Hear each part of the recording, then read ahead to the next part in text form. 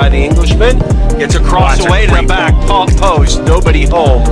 But how about that work? That is tantalizing. I'll tell you what, Thomas has shown some quality here these last couple attacks. Absolute quality ball. Nobody home on the cross. Look at the shape on this and, and the and the whip on it. What a Oh. that's just beautiful.